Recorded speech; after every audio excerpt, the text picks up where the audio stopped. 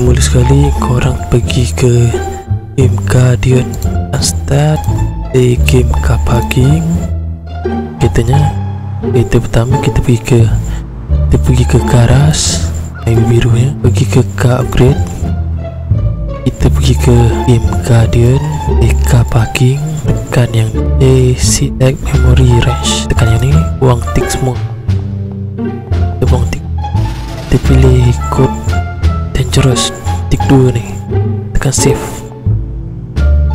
Di sini Tekan yang ni Type nombor Kosong point Dan Pilih float. Tekan edit. Yes. Lepas tu tekan pangkal ni. Oh, Tekan yang ni. Dia pilih kereta Okey dia jadi pun.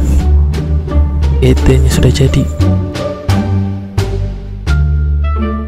Pergi ke car upgrade Tekan Kita edit. Tekan down